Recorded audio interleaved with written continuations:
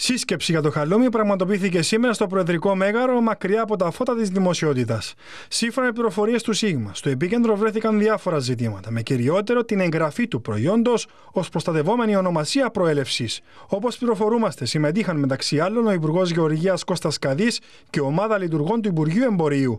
Αρμόδια κυβερνητική πηγή, η οποία δεν επιβεβαίωσε αλλά ούτε και διέψευσε την πραγματοποίηση της σύσκεψης, αρκέστηκε στο να αναφέρει πως γίνεται μια εντατική προσπάθεια για διευθέτηση του ζητήματος του χαλουμιού πριν να λήξει η θητεία της Ευρωπαϊκής Επιτροπής. Την ίδια ώρα, εγωπροβατοτρόφοι και γεωργικές οργανώσεις ανακοίνωναν διαμαρτυρία για αύριο έξω από το Υπουργείο Εμπορίου.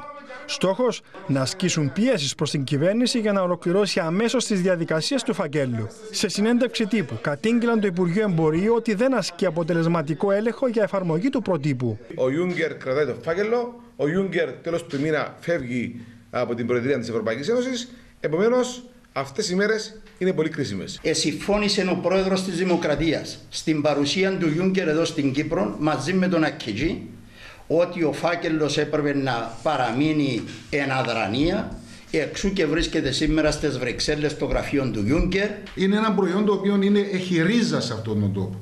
Και αλλήμον, ρε παιδιά, αν τούτες οι ρίζες κοπούν. Η αυριανή κινητοποίηση έξω από το Υπουργείο Εμπορίου έχει προγραμματιστεί για τις 11 το πρωί. Σύμφωνα με πληροφορίες, αντιπροσωπεία των διαμαρτυρωμένων θα επιδιώξει συνάντηση με τον πρόεδρο της Δημοκρατίας για παράδοση υπομνήματος με τα αιτήματά τους.